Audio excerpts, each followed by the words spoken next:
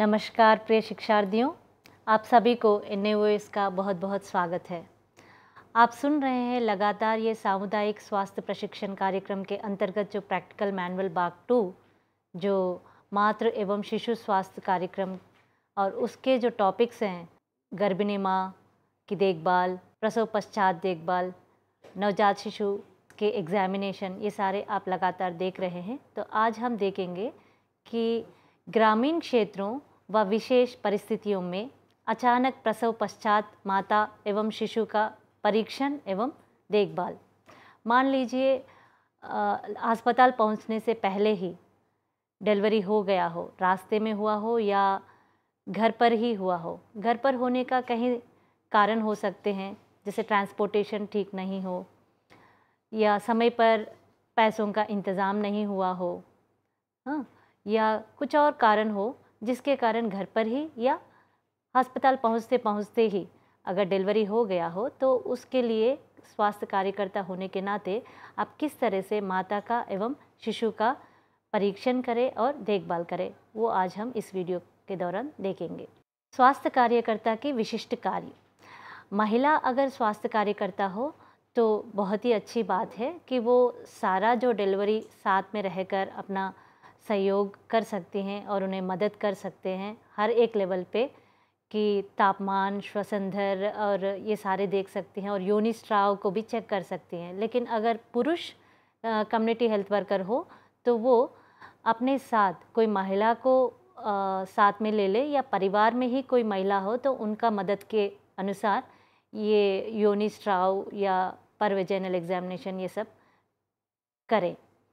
तो स्वास्थ्य कार्यकर्ता के विशिष्ट कार्य में पहला आता है माँ और उनके परिवार को प्रसव के समय आश्वासन दे एवं मदद करे। पूरी प्रसव में मदद करें। और शरीर की तापमान श्वसन दर योनिस्ट्राव आदि चेक करें। माँ का टेम्परेचर कितना है? ज़्यादा तो नहीं है या कम है? और उनका रेस्पिरेटरी रेट कैसी है? और योनिस्ट्राव अधिक हो रहा है या कम हो रहा है? ये सारे चेक करें। और प्रसव का जो स्थान है, वो सूखा, सफ़ाई होनी चाहिए और वहाँ पर कोई सफ़ाई युक्त चादर बिछाएँ और रबर शीट भी नीचे की ओर बिछाएँ। और जब प्रसव हो जाता है तो आधा घंटे के अंदर अंदर शिशु को स्तनपान कर, कराने की शुरू कराएँ। और इसके बीच ही हो सके तो अस्पताल शिफ्ट कराएँ। घर में प्रसव अगर हो तो पाँच चीज़ों को ध्यान रखना चाहिए। ये हर स्वास्थ्य कार्यकर्ता को हर समय ये पाँच सी जो हम कहते हैं, उसका पालन करें। वह है क्लीन हैंड्स, यानी कि स्वच्छ हाथ और क्लीन सरफेस, स्वच्छ सतह, क्लीन ब्लेड, स्वच्छ ब्लेड क्लीन कार्ड टाई जिससे भी हम बांधेंगे, जैसे धागा हो या रबर बैंड हो, वो क्लीन होनी चाहिए। और क्लीन कार्ड स्टम्प जो काटने के बाद जो नाबिनाल होता है, उसको भी हमें क्लीन और हाइजन रखना चाहिए। तो ये पाँच चीज़ों को हर समय घर में प्रसव होने वाले माता माता और शिशु का स्वस्थ रहने के लिए ये ध्यान रखने वाली बातें हैं। अगर डिलीवरी नहीं हुआ, इससे पहले ही आपको फ़ोन आया क्योंकि आप स्वास्थ्य कार्यकर्ता हैं तो लेबर पेन्स आने के बाद आप ही को पहले बताया जाता है क्योंकि आप लोग गाँव में उनके साथ रहते हैं। तो तो पेन्स आए हैं, अभी शिशु शिशु का जन्म नहीं हुआ तो आपको इन चीज़ों का तैयार करना चाहिए।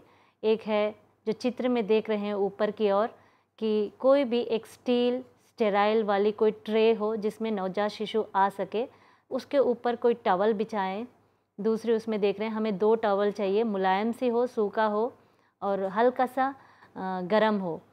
तो एक ट्रे में बिछाएँ और हमें कार्ड को टाई करने के लिए या तो धागा चाहिए और रबर बैंड भी चाहिए होता है और गुनगुना सा गर्म पानी भी हमें चाहिए। इसके अलावा हम कॉटन के दो स्वैप्स रख सकते हैं और काटने के लिए सीज़र चाहिए या ब्लेड हो। और ब्लेड भी क्लीन होनी चाहिए और नया भी ब्लेड हो तो भी उसे पहले से ही हम बॉइलिंग वाटर में एक बार निकाल के फिर उसे उपयोग करें। तो ये सारे हम तैयार रखें, जैसे ही डिलीवरी हो जाता है तो इस ट्रे में हम बेबी को रिसीव करें। तो डिलीवरी होते ही एक बार हम टाइम नोट करें कि किस समय में उसका जन्म हुआ है। और बर्थ क्राई है या नहीं? मतलब बच्चा रोया है या नहीं? ये ध्यान रखना चाहिए। अगर रो लेता है तो सामान्य परिचर्या, जो रूटीन केयर हमें करनी चाहिए। रूटीन केयर में पहले ट्रे में रिसीव करते ही बेबी को ऊपर से नीचे की ओर, सिर से पैर की ओर तुरंत पोछना चाहिए एक टवल से। और जैसे ही वो टवल गीला हो जाता है तो उसे हटाकर दूसरी जो टवल है उससे ढककर, जैसे चित्र में देखा, देख रहे हैं, उसी तरह से हमें रखना चाहिए ताकि वो हाइपोथर्मिया से बच सके। क्योंकि नवजात शिशु का अधिकतर टेम्परेचर जो है कम होने का चांसेस हैं, क्योंकि उसका बॉडी सरफेस ज़्यादा होता है और हम उसे गर्म ना रखें तो तुरंत ही हीट लॉस होती है बॉडी का हीट लॉस होकर हाइपोथर्मिया में पहुँच सकता है। उसके बाद बुनियादी नवजीव, नवजात पुनर्जीवन करें। मान लीजिए अगर बच्चा नहीं रोता है तो रिससिटेशन करें तो उसके लिए मैं आप सभी को एडवाइस करती हूँ कि एक कोर्स होती है न्यूबॉर्न रिससिटेशन केयर ये सभी कम्युनिटी हेल्थ वर्कर्स को ये भी साथ में कर लेना चाहिए ताकि होम डिलीवरीज या रास्ते में होने वाले जो डिलीवरीज होते हैं, उसमें अगर शिशु तुरंत नहीं रोता है तो किस तरह से हम उसका पुनर्जीवन कर सकते हैं।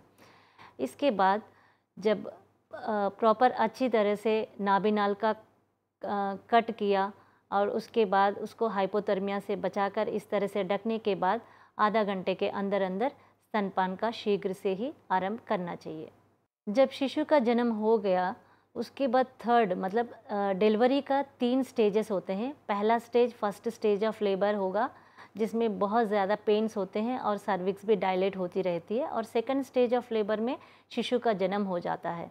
शिशु के जन्म के बाद जब थर्ड स्टेज ऑफ़ लेबर इसमें अपरा बाहर आती है। अपरा को हम प्लेसेंटा भी कहते हैं। तो ये जब बाहर आने का जो है पंद्रह से बीस मिनट का समय होता है तो इसी अंतर्गत अगर नहीं आया तो भी हम तुरंत जो है हॉस्पिटल शिफ्ट करनी चाहिए।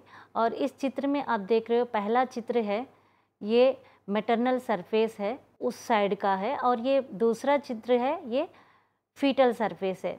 तो फीटल सरफेस के साइड में आपको नाभि का जो नाल अम्बलाइकल कॉर्ड का लेंथ होती है और सारे मेम्ब्रेन्स भी होंगे। और ये पूरी कंप्लीट है, इस तरह से बाहर निकलना चाहिए। मान लीजिए अगर कहीं पर भी थोड़ा सा टुकड़ा भी अगर हमें इसमें नहीं दिखता है तो हमें समझना चाहिए कि ये गर्भाशय में ही रह गया है, जिसे हम प्लेसेंटल रिटेंशन कहते हैं। अगर वो रह जाता है तो हमें अस्पताल लेकर जाना होगा और उसको क्लीन करवाना होगा, नहीं करवाते हैं तो वो काफ़ी दिनों तक ये योनि शूल या गर्भाशय शूल होगा और साथ साथ में बहुत ज़्यादा ब्लीडिंग होता रहेगा। अब डिलीवरी हो गया है और शिशु का भी जन्म हो गया है, साथ में प्लासेंटा भी बाहर आ गया है। परंतु ये सोचकर अगर हम घर पर ही रहें, माँ और शिशु को घर पर ही रखें तो आगे ये समस्याएँ आने की संभावना है। तो प्रसव पश्चात माता को होने वाले क्या समस्या हैं, ये अभी हम देख रहे हैं। एक है उदर एवं योनिशूल ये 24 घंटे के अंदर या पहले सप्ताह में कभी भी हो सकता है। इन्फेक्शन अगर फैल जाता है, अनहाइजेनिक कंडीशंस में या संक्रामिक होने के कारण उधर में बहुत ज़्यादा शूल होगा और योनि में भी शूल हो सकता है। और इसके अलावा वजैनल और पेरिनियल टीयर यानी कि अगर हम लेबर के समय, डिलीवरी के समय प्रॉपर अगर सपोर्ट नहीं देते हैं बाहर की ओर से, अगर हम सपोर्ट नहीं देते हैं वजेना पे तो वजेना के पास या पेरिनियम के पास जो मांसपेशियाँ हैं सामान्यतः, वो छिद्र हो जाते हैं, टीयर हो जाती है। उसे हम अगर अस्पताल ले जाके रिपेयर नहीं करवाएँ तो आगे जाकर ये इन्फेक्शन होके और अलग तरह से ये क्लोज़ होकर बहुत दिक्कत कर सकती है और पेन हो सकता है। और तीसरा है ये प्रसव पश्चात रक्तस्राव। ये रक्तस्राव जो है वेजनल डिलीवरी नॉर्मल जो वेजनल डिलीवरी में 24 घंटे के अंदर अगर 500 मिलीलीटर से भी अगर ज़्यादा रक्त अगर जा रहा हो तो उसे हम प्रसव पश्चात रक्तस्राव कहेंगे। और इसको अगर नहीं रोके तो ये एनीमिया या पांडु रोग में पहुँच सकता है और खून की कमी के कारण उसे ऑक्सीजन लेने, माँ को ऑक्सीजन लेने में भी दिक्कत हो सकता है। और खून की कमी के कारण कभी कभार हमें ये भी देखने को मिलता है कि स्तन का जो प्रोडक्शन है वो भी कम हो जाता है। इसके अलावा उच्च तापमान ये टेम्परेचर जो है माँ का 102, 103 या कभी कभार 105 तक पहुँच जाती है उसे ठीक ना करने से आगे जो है सूतिका ज्वर के कॉम्प्लिकेशंस और बढ़ सकते हैं और वो है दूध। अगर शिशु ने पिया तो शिशु को भी टेम्परेचर बढ़कर उसको फीवर हो सकता है न्यूनेटल फीवर हो सकती है। इसके अलावा ड्यूरिंग द लेबर नीचे की और की नसें प्रेशर पड़ने के कारण जो है एनल ऑरिफाइस के पास से बाहर से बवासीर दिखने लगेंगे। तो इसको भी ठीक से चेकअप करवाना होगा। वरना ये ब्लीडिंग पाइल्स में भी ब्लीड होता रहेगा, खून बहती रहेगी और इसमें भी लंबा समय तक ना ट्रीट करने से एनीमिया में पहुँच सकता है। और एक और कॉम्प्लिकेशन है प्लेसेंटल रिटेंशन जैसे मैंने कहा था कि शिशु का जन्म के बाद अगर प्लेसेंटा 15 से 20 मिनट के अंदर नहीं आया और उसी में है तो भी वो कंटिन्यूस ब्लीडिंग होता रहेगा और कॉन्ट्रैक्शन ठीक से ना रहने के कारण ये दिक्कत हो सकती है तो तुरंत ही हॉस्पिटल ले जाना पड़ेगा। इसके ही हम, मैं इस अगले स्लाइड में चित्र दिखा रही हूँ। वेजनल टेर या पेरिनियल टेर पहला जो चित्र है, ये सामान्य यूनिपेशियाँ किस तरह से ये इसका अरेंजमेंट है। और जब शिशु की डिलीवरी हो रही हो तो इन सारे मांसपेशियों में प्रेशर आ सकती है और बाहर से स्वास्थ्य कार्यकर्ता अगर ठीक से सपोर्ट नहीं करे तो इस तरह से पेरिनियल टीयर हो जाएगा। और आगे हम इनको हॉस्पिटल नहीं लेकर जाते हैं तो ये टीयर जो है इसी तरह से रहेगा और ब्लीडिंग होती रहेगी और इन्फेक्शन बाहर की ओर से अंदर गर्भाशय तक पहुँच सकता है। तो इसको रिपेयर करना बहुत ज़रूरी है। और इस चित्र में बाकी कॉम्प्लिकेशंस हैं। जैसे पहला है जो प्रसव पश्चात रक्तस्राव, जो कंटिन्यूस रक्तस्राव होती रहेगी। तो दूसरा पिक्चर में पिक्चर में आप देख रहे हो कि खून की कमी होने से किस तरह से हाथ पीलापन हो रहा है। और दूसरा हाथ पिंक है जिसमें खून अच्छा है। शरीर में।